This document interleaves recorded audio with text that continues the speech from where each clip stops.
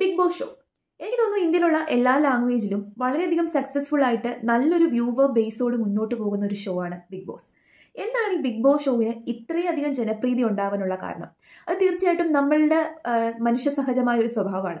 മറ്റുള്ളവരുടെ ജീവിതം എങ്ങനെ പോകുന്നു അതെങ്ങനെ നടക്കുന്നു അതും ലൈവായിട്ട് നമുക്ക് കാണാൻ സാധിച്ചു കഴിഞ്ഞാൽ അത് കുറച്ചും കൂടി ഒരു ഇൻട്രസ്റ്റ് ഉള്ള കാര്യമാണ്.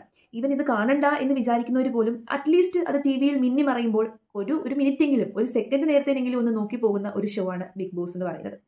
ഇനി മറ്റുള്ള ലാംഗ്വേജിലെ ബിഗ് ബോസിന്റെ കാര്യം എനിക്കറിയില്ല. എനിക്ക് തോന്നുന്നു മറ്റുള്ള ലാംഗ്വേജിലെ ബിഗ് ബോസിലും ഈ ഞാൻ പറയുന്ന ഒരു കാര്യം ഈ ഞാൻ പറയുന്ന സ്ട്രാറ്റജി വളരെ സ്ട്രോങ് ആയിട്ട് മുന്നോട്ട് പോകുന്നതാണ്. എക്സാമ്പിൾ പറയുവാണെങ്കിൽ ഹിന്ദി ബിഗ് ബോസുകൾ ലവ് സ്ട്രാറ്റജിയെ കുറിച്ചാണ് ഞാൻ സംസാരിക്കുന്നത്. ഈ ലവ് സ്ട്രാറ്റജി എന്ന് പറയുന്നത് ഭയങ്കര ഡീപ്പായിട്ട് എല്ലാവരും എഗ്രി ചെയ്യുന്ന ഒരു കൈൻഡ് ഓഫ് സ്ട്രാറ്റജിയാണ് എന്താണ് പ്രണയത്തിന് ഇത്രയധികം ഒരു മാർക്കറ്റ് വാല്യൂ പ്രണയിക്കുന്നവരെ കാണാനും ഇങ്ങനെ പരസ്പരം കെയർ ചെയ്യുന്നതും അങ്ങോട്ടും ഇങ്ങോട്ടും റൊമാന്റിക് ആയിട്ട് സംസാരിക്കുന്നതൊക്കെ കാണാൻ വേണ്ടിയിട്ട് ഒരു വലിയ ഒരു വ്യൂവർ ബേസ് ഉണ്ട്. പലർക്കും അത് കണ്ടുകൊണ്ടിരിക്കാൻ വളരെയധികം ഇഷ്ടമുള്ള ഒരു കാര്യമാണ്.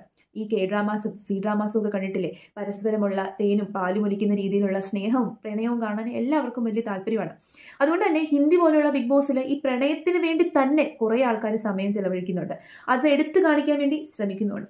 ഇനി നമുക്ക് മലയാളത്തിലേക്ക് വരാം. കാരണം മലയാളത്തെക്കുറിച്ചാണല്ലോ നമുക്ക് കൂടുതൽ അറിയാവുന്നത്. സീസൺ വണ്ണ് മുതൽ തുടങ്ങാം. സീസൺ വണ്ണിൽ നമ്മൾ വലിയൊരു പ്രണയം കണ്ടു. ആ പ്രണയം വളരെ സക്സസ്ഫുൾ ആയിട്ട് ബിഗ് ബോസ് ഷോയ്ക്ക് വെളിയിലും സക്സസ്ഫുൾ ആയിട്ട് വിജയിച്ചു എന്നുള്ളത് നമ്മൾ കണ്ടതാണ്. ആ ബിഗ് ബോസ് ഷോയിൽ അവരെ കുറ്റം പറഞ്ഞ ആൾക്കാർ പോലും പിന്നീട് അവരെ ഫ്രേസ് ചെയ്തു. കാരണം അവരുടെ ആ ഒരു പ്രണയ സാഫല്യത്തിൽ. അങ്ങനെ ഒരു ജെനുവിൻ ലവിന് സാക്ഷ്യം വഹിക്കാൻ നമുക്ക് മലയാളികൾക്ക് സാധിച്ചു. പക്ഷെ പിന്നീട് അങ്ങോട്ടുള്ള ബിഗ് ബോസ് സീസണുകളിൽ അതേ ട്രാക്ക് പിടിക്കാൻ പലരും നോക്കിയെങ്കിലും ഈ ലവ് സ്ട്രാറ്റജി ഇറക്കി പലരും കളിച്ചെങ്കിലും അത് അടപടലം തകർന്നു വീഴുന്ന കാഴ്ചയാണ് മലയാളികൾ കണ്ടത്. അതിനുള്ള കാരണം എന്താണ്? അതിന് കാരണം നമ്മൾ മലയാളികൾ തന്നെയാണ്. ഫേക്ക് ആയിട്ടുള്ള കാര്യങ്ങൾ തിരിച്ചറിയാനുള്ള ഒരു ഒരു വലിയൊരു ബുദ്ധി ഒരു ബ്രെയിൻ നമുക്കുണ്ട് ഏത് ഫേക്ക് ഏതാണ് നമ്മളെ കബളിപ്പിക്കാൻ നോക്കുന്നത് ഏതാണ് റിയൽ എന്ന് നമുക്ക് മനസ്സിലാക്കാനുള്ള ഒരു ഒരു ഒരു ബുദ്ധി ഇതുവരെ നമുക്ക് മലയാളികൾക്ക് നഷ്ടപ്പെട്ടില്ല. അതുകൊണ്ട് തന്നെ ഈ ബിഗ് ബോസുകളിലൊക്കെ തന്നെ ഇത്തരത്തിലുള്ള ലവ് സ്ട്രാറ്റജി പരാജയപ്പെട്ടതായിട്ടാണ് നമ്മൾ കണ്ടിട്ടുള്ളത്. ഫസ്റ്റ് സീസൺ ഒഴിച്ചു കഴിഞ്ഞാൽ ബാക്കിയുള്ള ബിഗ് ബോസ് സീസണുകളിലെല്ലാം പലപ്പോഴും നമ്മൾ പലരെയും തമ്മിൽ ഷിപ്പ് ചെയ്യാൻ നോക്കിയിട്ടുണ്ടെങ്കിൽ പോലും ആ ഷിപ്പൊക്കെ തകർന്നു പോയിട്ടുമുണ്ട്. അതേപോലെ തന്നെ ബിഗ് ബോസ് സീസൺ സിക്സിലും ഒരു ലവ് സ്ട്രാറ്റജി ഉദിച്ചു വരുന്നുണ്ട്. ഈ ലവ് സ്ട്രാറ്റജി എടുക്കുന്നവരുടെയൊക്കെ ഒരു മെയിൻ ആയിട്ടുള്ള ഒരു ഇരട്ടത്താപ്പ് എന്താണെന്ന് പറയാം?